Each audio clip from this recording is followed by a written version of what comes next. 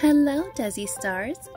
Cuddle up and get ready for another classic bedtime story with me. If you're new to the Dessi Stars family, welcome! And please subscribe because my library is full of books I'd love to read to you. Today we're going to read Goldilocks and the Three Bears.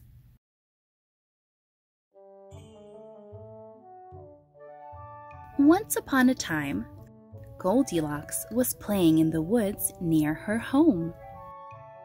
Her blonde curls bounced and bobbed as she danced around the rustling trees and skipped along the pebbly path, humming to herself.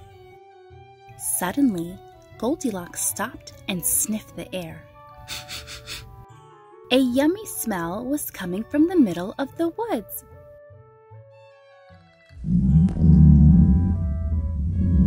Goldilocks' tummy grumbled loudly.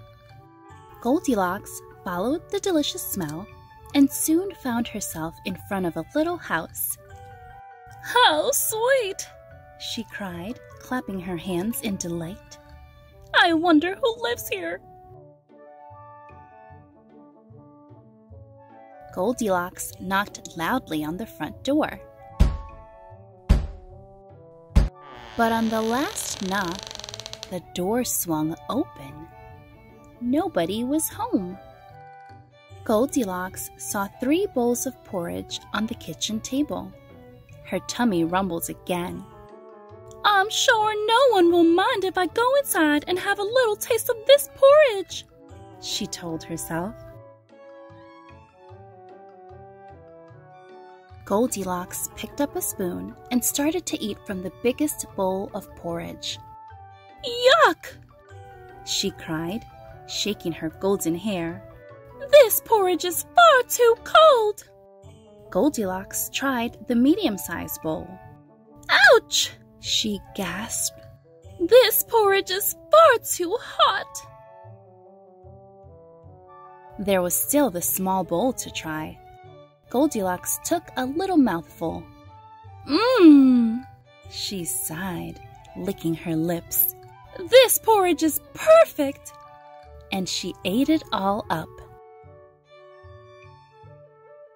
Then Goldilocks went into the living room for a rest.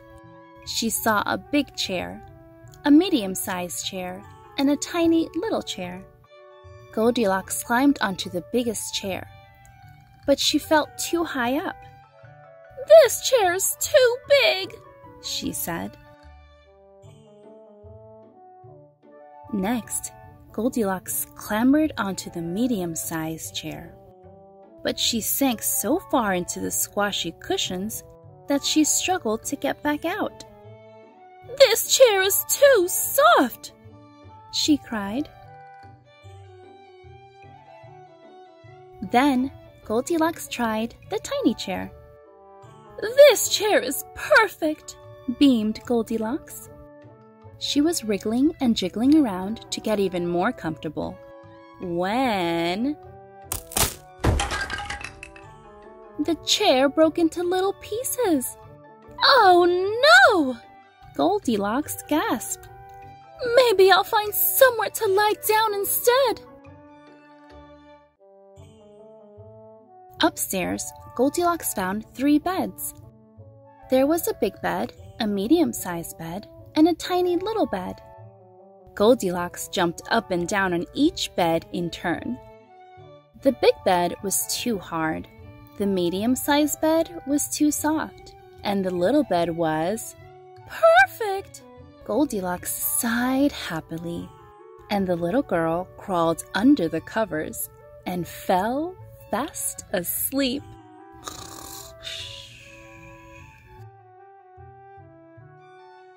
Meanwhile, three hungry bears returned to the house in the woods. They had been for a walk while their hot porridge cooled down in the kitchen. But the door was already opened, and there were muddy footprints in the hall.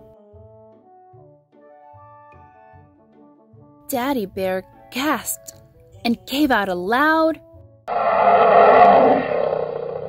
Someone's been eating my porridge, he growled.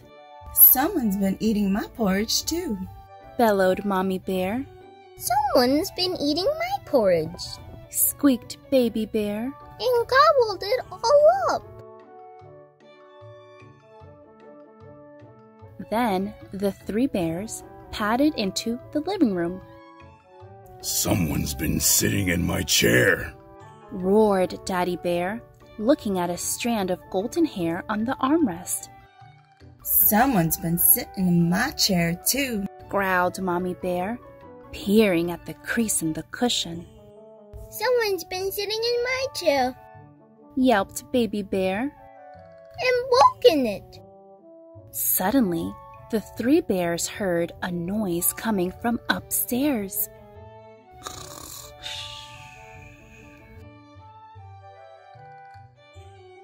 Daddy Bear, Mommy Bear, and Baby Bear rushed up the stairs and into the bedroom. Someone's been sleeping in my bed, roared Daddy Bear, looking at the crumbled sheets. Someone's been sleeping in my bed, too, growled Mommy Bear, straightening the untidy covers. Someone's been sleeping in my bed, squeaked Baby Bear, pointing to Goldilocks.